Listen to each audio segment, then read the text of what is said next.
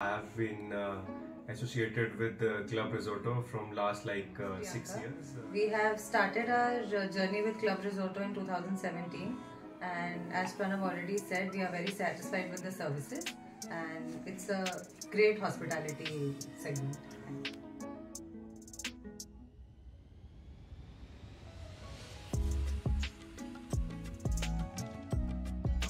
And uh, I have been uh, associated with the Club Resorto from last like uh, six years. Uh, we had this membership is started from 2017, and since then uh, it's been uh, quite a memorable journey.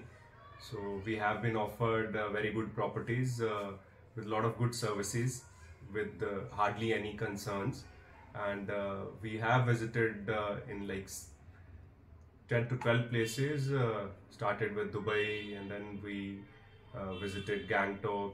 We went to North India, Mussoorie, Nainital. A lot of places. So it's been quite a, uh, I, I would say, satisfying experience with the Club Resorto. And uh, I would really like to mention our relationship manager uh, who has uh, always uh, been kind and uh, provided uh, good properties to us. And uh, his name is Ritesh.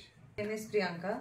We have started our uh, journey with Club Resorto in 2017, and as Pranav already said, we are very satisfied with the services, and it's a great hospitality segment.